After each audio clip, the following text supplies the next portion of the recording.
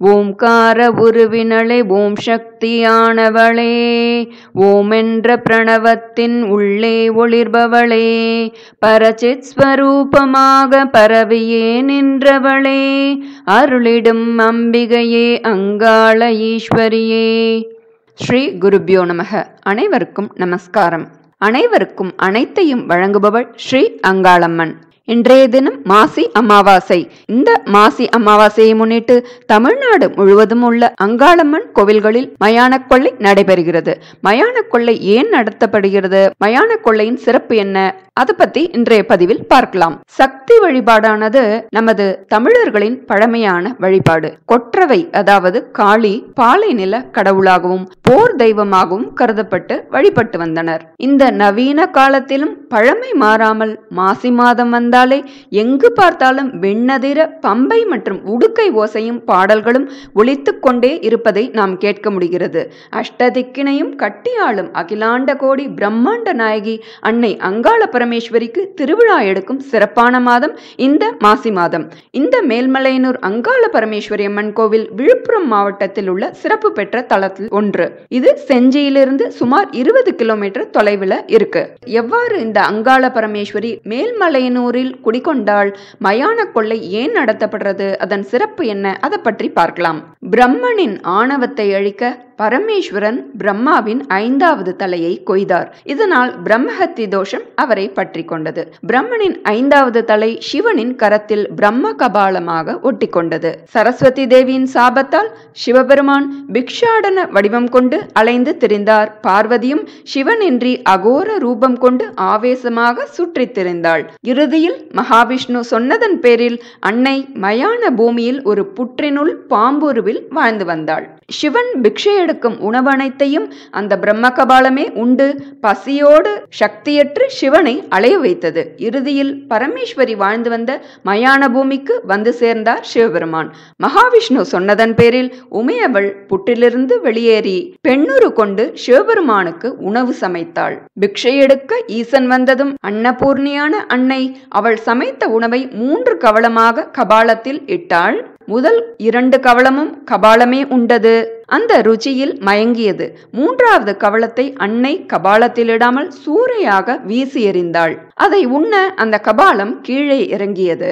ஆவேச வடிவம் கொண்டு அன்னை கீழே இறங்கிய கபாலத்தை தனது காலால் மிதித்து சுக்கு நூறாக்கினாள். அங்காளியாக அங்காள பரமேஸ்வரியாக அந்த மயான பூமியில் ஆவேச நடனம் புரிந்தாள். அவளை சாந்தப்படுத்தவே முடியவில்லை. ஆடிய ஆட்டத்தில் இந்த அகிலமே அதிர்ந்து அஞ்சின. அன்னை பார்த்த அனைத்தும் அவளது கோப பார்வையில் பட்டு அழிந்து தெரித்தன. தேவர்களெல்லாம் பயந்து அஞ்சி நடுங்கினர். போர்க்கோளம் பூண்டு அன்னை தேரில் ஏறி பயணித்தாள். அம்பிகையை சாந்தப்படுத்த தேரின் அச்சாணியை மகாவிஷ்ணு முறியச் செய்தார். தேர் உடைந்து அன்னை கீழே மல்லார்ந்தாள். மகாவிஷ்ணு தனது தங்கையை தனது சக்தியால் அப்படியே கட்டுப்படுத்தினார். அம்பிகையும் ஆவேசம் தணிந்து நான்கு திருக்கரத்துடன் சூளம் கத்தி உடுக்கை கபாலத்துடன் எழுந்து அமர்ந்தாள். அங்கேயே அங்காள பரமேஸ்வரி என்ற திருநாமம் கொண்டு காட்சி கொடுத்தாள். இதுதான் மேல்மலையனூர் அங்காள பரமேஸ்வரி திருக்கோயில் ஸ்தல புராணம் ஒவ்வொரு ஆண்டும் மாசி மாதம் அமாவாசை அன்று அனைத்து அங்காளம்மன் கோவிலையும் மயான கொள்ளையானது ரொம்பவே விமர்சையா நடைபெறுறது.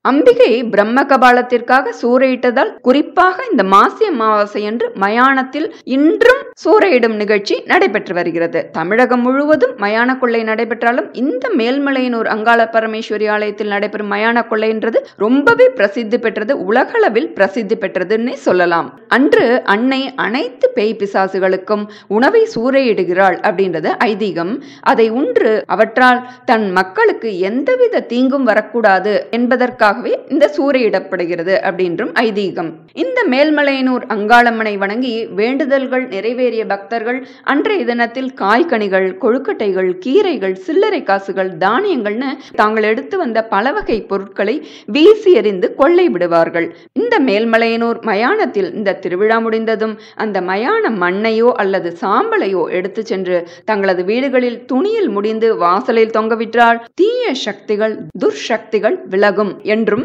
நோய்களையும் விரட்டும் ஆற்றல் வாய்ந்தது அப்படின்னும் பக்தர்களால் நம்பப்படுகிறது. விவசாயிகள் இதை எடுத்து சென்று தங்களது விவசாய நிலத்தில் இட்டால் பயிர் செழிக்கும் என்ற நம்பிக்கையுடன் இன்றும் இதை செய்து வருகின்றனர். அன்றைய தினத்தில் அங்கு அருள்வாக்கு சொல்பவர்களின் வார்த்தைகள் அப்படியே பலிக்கும் அப்படின்னு பக்தர்களால் நம்பப்படுகிறது. இப்படி கைலாயத்தில் வீட்டிற்கும் சிவபெருமானின் பத்னியான பார்வதி தேவியின் மற்றொரு வடிவமான ஸ்ரீ அங்காளம்மன் இந்த அகில உலகையும் தீய சக்திகளிலிருந்து காக்கும் அன்னையாக வடிவெடுத்து தன்னை மனதார எவரவர் வழிபடுகிறார்களோ அவர்களின் துயரங்களையும் துன்பங்களையும் உடனடியாக போக்கி அவர்களது வாழ்வில் அனைத்து நிலைகளிலும் அவர்களை உயர அருள் புரிகிறாள். இந்த அங்காளம்மனை வழிபடுவதற்காக உள்ள ஸ்லோகத்தை பார்க்கலாம்.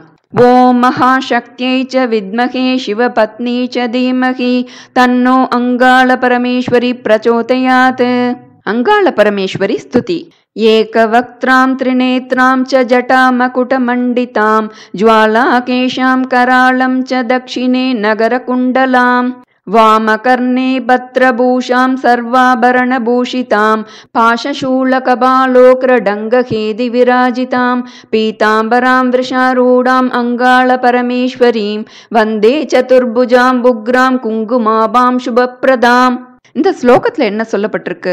அம்பாள் ஒரு முகம் மூன்று கண்களும் நான்கு கைகளும் உடையவள் அக்னி ஜுவாலை போன்று சிவந்த கூந்தலை மகுடமாக கொண்டவள் பயங்கரி வலது செவியில் முதலை வடிவில் அமைந்த குண்டலத்தையும் இடது செவியில் தாமரை போன்ற பத்ர குண்டலத்தையும் அணிந்தவள் எல்லா அணிகலன்களையும் பூண்டவள் பாசக்கயிறு சூலம் கபாலம் உளி அல்லது கோடாரி ஹேத்தி என்ற கூர்மையான ஆயுதத்தை தாங்கியவள் வெண் வெண்பட்டாடை உடுத்தியவள். காளை மேல் வீற்றிருப்பவள் குங்குமப்பூ நிறத்தினள். அனைத்து நலன்களையும் வழங்குபவள் ஆகிய அங்காள பரமேஸ்வரியை வணங்குகிறேன். அவளுக்கு நமஸ்காரம் அப்படின்றது தான் இந்த ஸ்லோகத்தோட அர்த்தம். பொதுவா நாம் அமாவாசை தினத்தில் மறைந்த முன்னோர்களுக்கு திதி தர்ப்பணம் கொடுத்து அவர்களது ஆசியை பெறுவதே வழக்கம். இன்றைய தினத்தில் இந்த மாசி அமாவாசையில் நாம் மேல்மலையனூர் அங்காள பரமேஸ்வரியையும் அங்காளம்மனையும் வணங்குவோம். மாசி அமாவாசையில் அம்பிகை முழு சக்தி பலத்தோடு வீற்றிருப்பாள்.